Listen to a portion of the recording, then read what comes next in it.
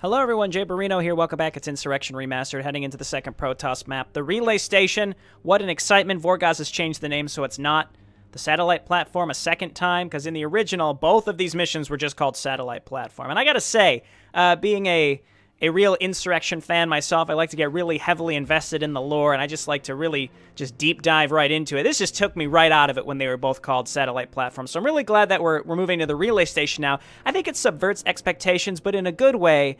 Uh, so now I'm, I'm really able to, to get super invested. The satellite platform is now secure, but Terran and Zerg still fight on Brontes 4. You must take over the relay station to avoid future interference. Let's go! Our progress, Judicator. With the Terran satellite platform secured, we maintain absolute control over the planet's communication network. Since its seizure, there has been notable chaos among the more isolated Terran settlements. As industry and trade have ground to a halt, a new level of barbarism devolves amongst its infant race. Your counsel, Judicator. I would recommend securing the Brontes 4 orbital relay station. Whomever holds the station maintains complete control over both entry and exit of the planet's surface. Our scout ships report it is currently held by a scattered collection of Terrans, although their resistance rapidly dwindles under the constant harassment of Zerg. We must secure this position if we are to stop the spread of the Zerg contamination throughout the Brontes system. Set course for the orbital relay station. I will accept nothing less than victory. Victory. Secure the orbital relay station. F people have to survive. Let's go. This was a micro mission. It looks like it's the same. We'll hotkey Syndrea, we'll hotkey Andraxis, and let's group everyone up. I like how we've got little uh, shield batteries and cannons that are just hanging out in these areas. We have so many scouts here. Oh my word. Okay, we're gonna hotkey them separately. We've got Syndrea. We have more over here. I guess let's move down. This is the mission where Andraxis' interceptors just randomly stop spawning, which was really bizarre. Oh, okay. Just random Mutalisks flying in. Interesting. Okay. One thing I noticed here, so Andraxis has 12 interceptors. Actually, wait. Oh, oh, can I can I select it? See, so his his interceptors do the normal amount of damage. I, I, I don't know, I guess unless you made a separate interceptor unit, they're always going to do the 9 damage. So it's rather than increasing the interceptor damage, you just increase the number of interceptors. That's actually pretty cool. Okay, so let's take Andraxis. This might be one of those missions where if you play extremely carefully, Andraxis can probably complete it himself. I don't know that for sure. I'm guessing that, but I, I would suspect that is the case. Um, these shuttles, I just want to get out of the way. Were these Mutalisks, did these Mutalisks fly in in the original map? Because I, I don't even remember if they did or not. Certainly intriguing. Also, our heroes, they can, uh, they, they regenerate their HP. So we don't really ever have to worry about them. Even if they take hull damage. So Andraxis is going to do a lot of the work for us here. I'm a little concerned about these random Mutalisk attacks. They are going and attacking the, uh, the Terran as well. Let's get our observers moved up. Our cannons are all 333 though, so they should stay alive. Uh, let's just move up with everybody. We've got some High Templar here, which is really nice. Okay, cool. So we can see pretty much everything. Let's just like keep poking in and getting rid of turrets along the way. I'm not sure if this is going to antagonize the Terran to us or not. And it, we have enough money where we could rebuild some of the turrets. Or not the turrets, the interceptors. Back up here, buddy. I have interceptors attacking two different things. That's interesting. It's probably because there's 8 instead of uh, 12. I guess this does keep things a little balanced because typically they're not going to be... Uh, like, if you, don't, if you don't have to rebuild the interceptors, you only have a certain amount of money to do that. Oh, scouts. That's a waste. Okay, they're, they're flooding it over here. Scouts, you fools. So we may be able to get rid of like this stuff. Why do you keep doing that? Stop it! You're you're you're very far away. Why are you doing this? Meanwhile, this is still getting attacked. I suspect we'll be okay. Okay, let's back up here. Apparently, one defense matrix Goliath can make this happen. Let's inch in and get rid of like this tank on the high ground. For the glory of Aiur. Let's get Syndrea up here too. She can do some good damage, even though she attacks very slow.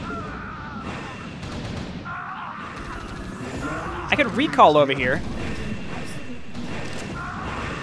I'm not sure if I if I if I want to or not. Anyway, we got rid of the the interceptor up here, right? Or not the, C. uh, My brain is all over the place here. I want to get rid of this tank. There we go. Looks like Syndrea attacks a little bit faster, too. Why can she not one-shot Marines if she does 75 damage? It, it looked like she just like wasn't able to kill a Marine there. That was intriguing. A High Templar have an attack. It's not bad. Um, okay, so let's let's start attacking down in this direction.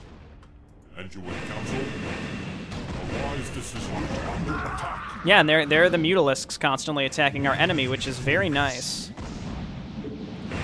Okay, so I'm probably gonna lose a lot of my uh, my forces just as they run into locations and die, like this, sort of. So let's back him up here and be be a little safer. Be a little safer, I said. Let's see if we can snipe this. Every science vessel we can get rid of will take a little bit of the pressure off of us. Yeah, okay. That's smart. He lives? He does not live. He did not. He has not done it. Okay, so we're going to attack over here. Is that a new Dresden Elite Guard? I don't like that.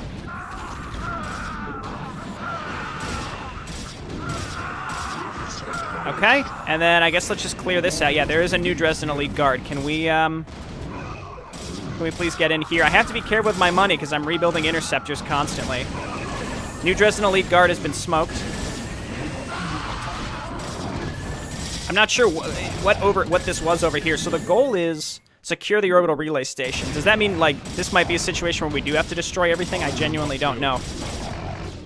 Okay, so we're inching forward with our ground forces. I think we've lost a lot of our ground forces already. This might be one where we use our air forces to great effect.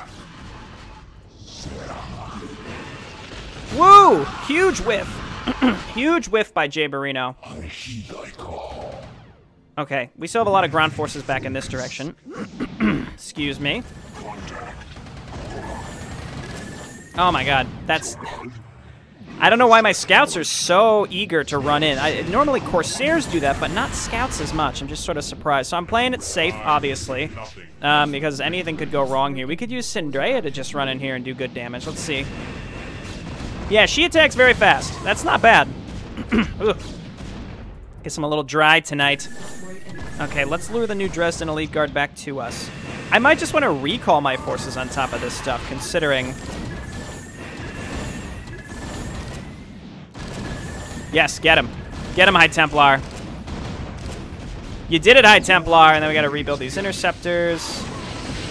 Not even sure where these units even came from, to be honest. Not a bad storm. Ooh, High Templar. Let's not. They must have dropped over in that direction. Okay, so we have to come through here and get rid of this middle section, and then we'll be able to kind of stage We maintain absolute control. Stage our, our ground forces from that side. But this kind of sucks because we're trapped. This might it might be worth using Syndrea to just it might be worth using Syndrea. I don't know, just to recall on top of them because we're gonna get trapped here, or we just use Andraxis. So let's let's actually hold out here. Oh my God, scouts!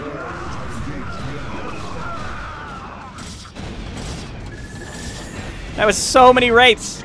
The scouts can do it. Okay, so let's keep inching. Actually, now I think I, now I think we can run in. So let's do that. Let's go. Be careful with the observers, actually, because those will die very quickly.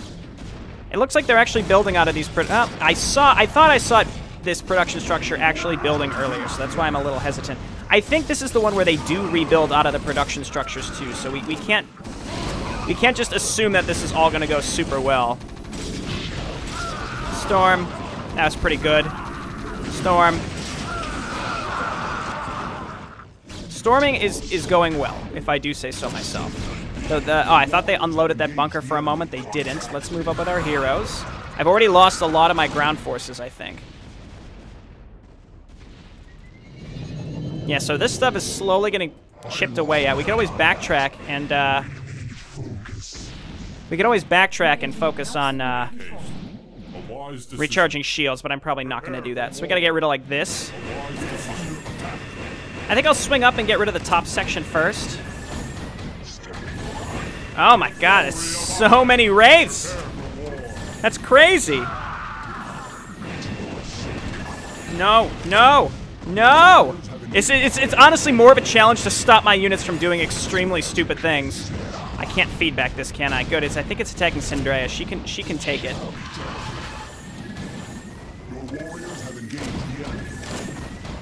Oh my god, look at the range on this. That's nuts.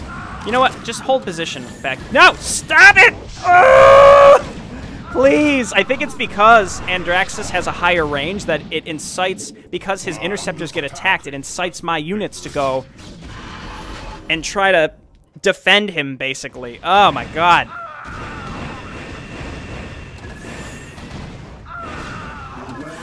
Okay, I want to get rid of this tank, and then I'm going to backtrack. All of you, please just stay on, just clump up and sit on hold position for now, please. Just stop it. Never mind. There's a battle cruiser. Not sure where it's going. Again, three scout, like 10 scouts that are 333 is not bad. They can probably do a lot. Least of which is snipe a battle cruiser.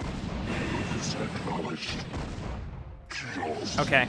Hold position. We're gonna we're gonna backtrack here momentarily because I want to use a shield battery before this stuff all goes down.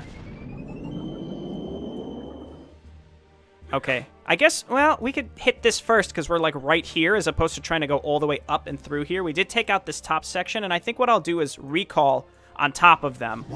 But I don't want to do that because it's a little risky. Okay, yeah, this is going to use a lot of our energy, but I think it's worth doing again in case these uh, these shield batteries go down. I will accept nothing less than victory. Yep, and he is getting his shields back. That's good enough, I think.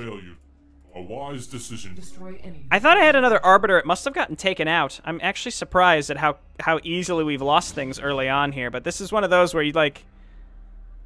It's just like classic StarCraft 1 micro where things can go wrong so easily. Just like one minor slip up and like, oh, there go all your units, sorry.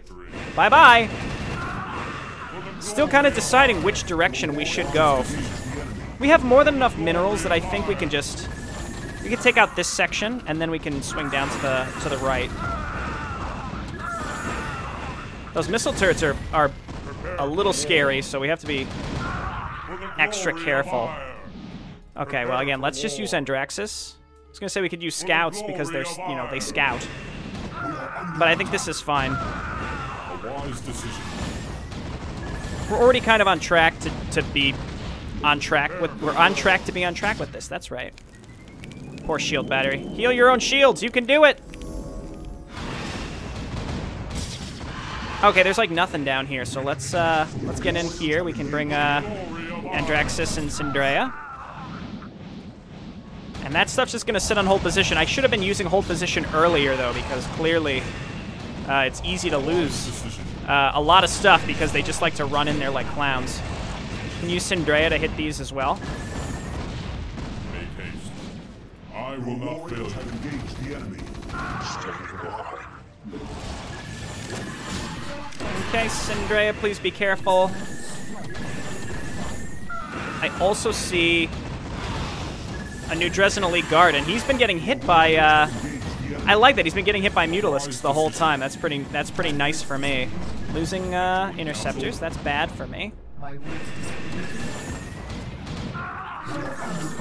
Those Mutalisks look like they're going straight for the new Dresden Elite Guard. Run, Syndrea, run! We can get her shields back as well. Is that going to burn down? Not quite. Man, the range on his interceptors is so far, it's kind of hard to... Oh, okay. Oh, we got a... We finished off a new Dresden Elite Guard. You know what? Let's move on down here with everybody else and clean this up. Meanwhile, let's let's get my heroes over here. Might as well try to take what progress we can. Scouts, move on up. What have I left behind? An, an observer, which I think I'm going to move here because that's where we're going to be going eventually. And then these random mutalisks. I think the important thing is we still have three High Templar, which can which can really annihilate these Terran as they come through these small choke points. It looks like uh, Brown is continually building, though, which can be a little scary if we're not careful. We still have more than enough resources to rebuild stuff here. It looks like the Zerg have taken out whatever was down here, so we don't have to. But the more of the Terran that we take out, the more that the Zerg will be hitting us exclusively. Glory of Aiur. So that could be that could be a little frightening. Let's um I think what I would like to do is start attacking down here, but not with the scouts, because there's a lot of anti-air. We want to attack with our ground forces down here. And you would counsel a wise decision. The New Dresden Elite Guard is still here, though, I think. Yes, it is. Okay. Andraxis can finish him up. It's okay if he gets rid of one or two interceptors. We lost one zealot to him. Okay, so we'll get rid of this. Syndrea, you can just sit here, or we can send her home real quick to get her shields back. Energy's coming back pretty quick on these. I don't know if we have to destroy everything. I kind of want to assume not because we haven't had to in the past, but at the same time, again, it's hard to tell when it says, like, just, you know, take control of the platform. Actually, I'm going to assume no, but maybe it's worth, again, just, well, honestly, if we if we leave these here, it'll, it'll distract the Zerg. So that would be pretty good. So we are gonna we are gonna backtrack here. Less than victory. We have lost a lot of our ground forces. That's about expected. Use this. Okay, Syndrea, come on down here. Again, it's that's so far out of range. I'm actually kind of shocked that he can attack that far away. It's really good. That's it's a really, really long range. Okay, so we're gonna start from the bottom left and start pushing our way up. Yeah, so this way. I think we just attack with everything now. Our scouts are strong. They can take some heat. And uh, did I leave any other units back here? No, just an observer. Yeah, sure. Get rid of these uh, these turrets. Man, I can't believe that he can see that far away. It puts him a little at risk, but, you know, he's fine. All right, Syndrea getting hit by the uh, New and Elite Guard. Okay, he's done. Syndrea back up. I'm glad we took the time to get your shields back.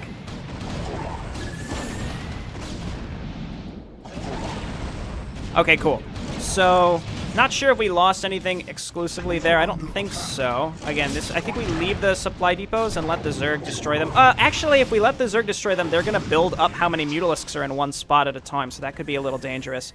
Um, I think there's nothing up here. I think we want to just backtrack. Because this is the last area of production structures we have to get rid of. Everything else is, is fine. I mean, Syndrea can get rid of these Mutalisks, no problem. There we go. Okay. Okay, let's ignore the let's ignore that stuff. So we're gonna come up here. So it comes to pass. So it comes to pass.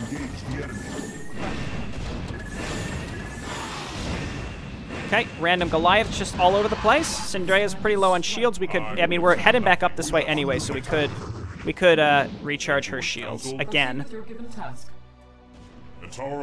So I think attacking up into this location is going to be a pain in the butt, but that's why I think I would rather recall. So let's just clump up.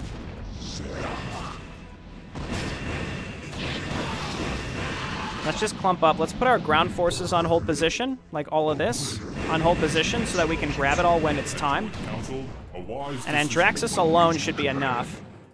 Um, we may be able to get all this in one go. It's going to be tricky, but I'm going to go get her shields back, and then we're going to go from the left side to clean this up. So let's take this observer and get a good idea on where. I think we just want to go like straight on top of the uh, the new Dresden Elite Guard. So like right here. It looks like there's a turret here, but that's not that big of a deal. Let's uh, let's do this. Proceed with your given task. Man, the- I mean, the heroes are so strong. It makes missions like this way more fun, as opposed to the first time I played this. It was like a nail biter because of how much, uh, like, it came down to the wire, and then Andraxis just stopped shooting. It was like a nightmare.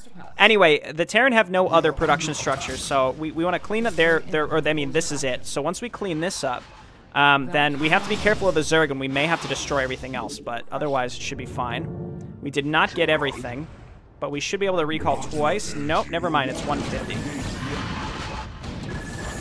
Okay, Andraxis cleaning this up as usual. Let's take the scouts and just clean up the missile turrets, because that's really it.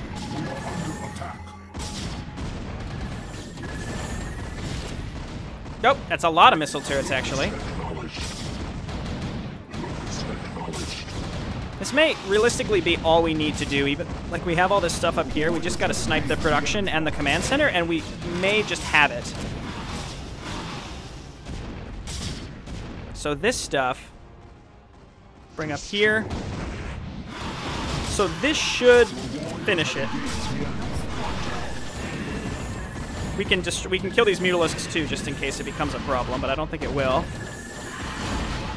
I think they unloaded the bunker. Yep. Okay, that should do it. It did. Okay, cool. So even on these micro maps where it's like seemingly you have to clear it all out, I, I, mean, this was answered for me in the last mission. I don't know why I'm questioning it, but we only have to destroy the production structure. See, that was really fun because I like the idea like of a carrier with 12 interceptors. That's a cool, real. That's a really cool little modification there. And then Syndrea, really strong for an arbiter. That's great. So she's actually uh, pretty fun to use. In fact, I don't even know if we can use her again in this campaign. I don't I don't remember. Okay, well this has been Jayborino. Thanks for watching. I'll see you next time. Bye now.